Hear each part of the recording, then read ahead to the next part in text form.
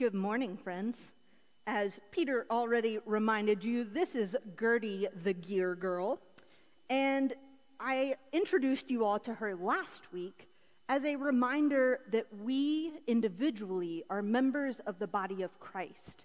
And each one of us has a purpose and a plan within the body of Christ.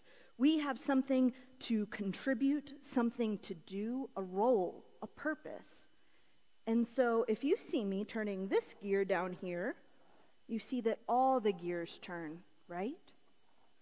But if I were to take, let's say this one away, which is about the hip joint, I can turn this foot.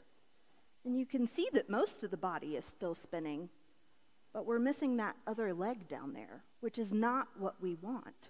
We want as much of the body working together as possible because that is God's plan. Now, last week we were talking about our individual roles as the body of Christ, as members of the body of Christ. And this week I want to teach you the lesson that we as a church are a member of God's church with a big C, is what we say. And so each of these gears could be representations of individual churches, like our church and Peakland Baptist and Peakland Methodist and Rivermont and St. John's and all the other churches that you've seen around town and everywhere else. We, as individual churches, are members of God's big church. And as followers of Jesus Christ and believers in God, there are two big rules love God, love others.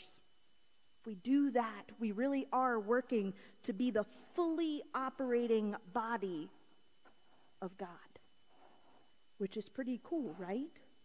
So each gear makes up this one body. So we individually are making up the bodies of Christ. But if you take it to another scale, each of these gears is an individual church making up God's church. It's similar to the idea that you are a member of your family, whatever that family unit may look like. And then your family is a member of your neighborhood, whatever that looks like. And your neighborhood is a member of your community, and your community a member of your city, and so on and so forth. So there are really small parts making up a big part. And I had a really smart friend point out that if I were to take away, let's say, this one, here in the middle, what happens? Every other gear that's on here is still spinning, it's still working, but it's missing something, isn't it? There's still a hole. So again, we each individually have a role in the body of Christ, and each of us as a church together have a member in God's church, a role in God's church. So I want you to remember that as you go through this week. Not only are you a member of uh, the body of Christ, but you're a member of this church and a larger part of God's church.